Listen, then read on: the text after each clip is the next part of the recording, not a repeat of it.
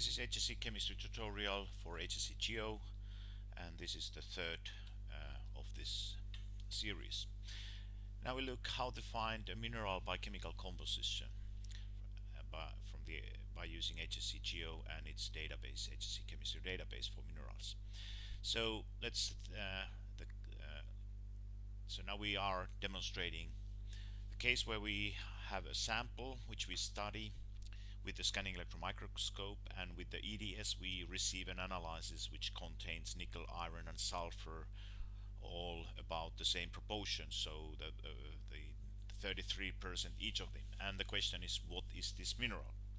So for that we start HSC Geo and uh, we select from the left hand left side uh, identify and we get the window which shows now table on the left hand side and it has some uh, values.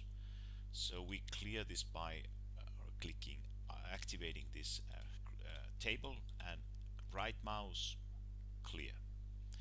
And now we type in the assay which we composition of the mineral so 33 iron 33 nickel and 33 sulfur.